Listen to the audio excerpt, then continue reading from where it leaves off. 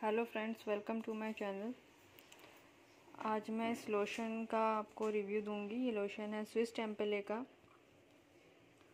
इसको हम समर्स में भी यूज़ कर सकते हैं और विंटर में भी यूज़ कर सकते हैं।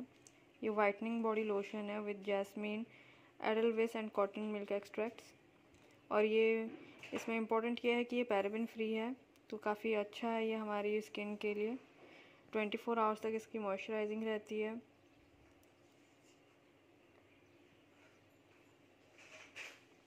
नॉर्मल स्किन के लिए बेस्ट है। वैसे तो ऑयली स्किन वालों के लिए भी बेस्ट है, मैंने ट्राई करके देखा है। ये 250 फिफ्टी का बॉटल है। प्राइस आपको इसका पड़ जाएगा 185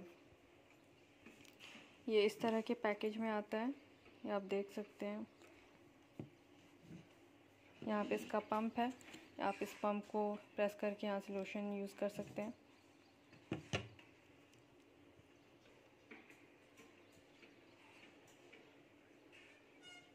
तो आप इसको यूज़ कर सकते हैं। ये काफ़ी अच्छा मॉइस्चराइज़र है। बॉडी लोशन बहुत अच्छा है फॉर समर्स विंटर्स में भी आप यूज़ कर सकते हैं। आप इसको ट्राई कीजिए।